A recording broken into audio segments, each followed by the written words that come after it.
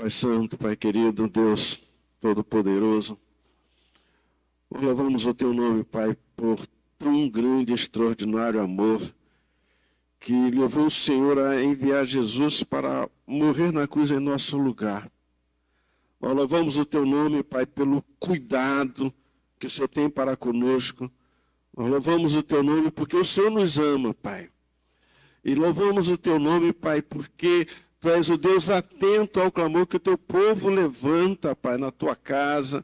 Tu tens ouvidos atentos, Pai, para a oração que nós levantamos. E nós queremos nessa noite suplicar, Pai, que o Senhor escute nossas orações.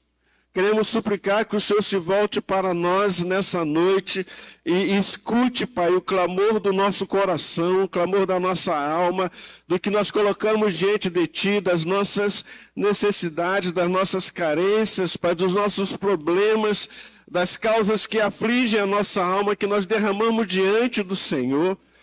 Porque nós cremos, Pai, que Tu continua sendo Deus hoje, nós cremos que tu continuas fazendo coisas tremendas, poderosas, extraordinárias hoje.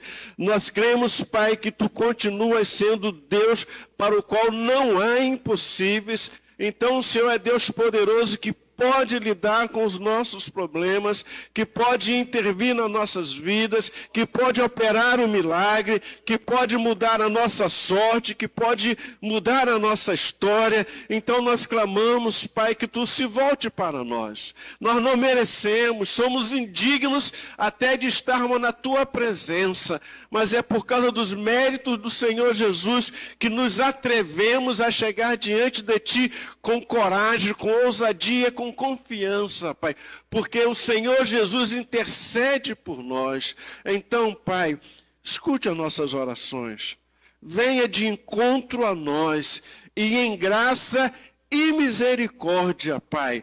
Toma nossas causas, toma nossos problemas, as nossas aflições, as nossas angústias em tuas mãos e ordena, Pai, a tua bênção e libera a bênção que o Senhor tem para nós. A tua palavra diz: Vinde a mim, todos vós estáis cansados e sobrecarregados, eu vos aliviarei.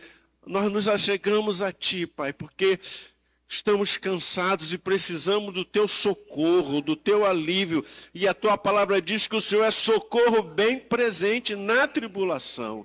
Então, toma-nos em tuas mãos, cuida de nós, atende o nosso clamor para que, acima de tudo, o teu nome, o teu nome seja glorificado, o teu nome seja exaltado em nós e através de nós. É o que pedimos, Pai, orando no nome do Senhor Jesus, em nome do Senhor Jesus. Amém.